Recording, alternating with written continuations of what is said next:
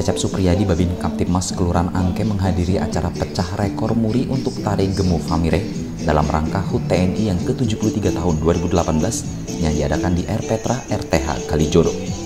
Adapun jumlah peserta yang mengikuti acara ini berjumlah 3.000 peserta yang terdiri dari TNI Polri, Satuan Polisi Pamong Praja, dan SMA di Jakarta Barat. Adapun acara ini diselenggarakan oleh Kodim Jakarta Barat dengan dihadiri oleh Kapolres Jakarta Barat dan Dim beserta Wakil Wali Kota Jakarta Barat.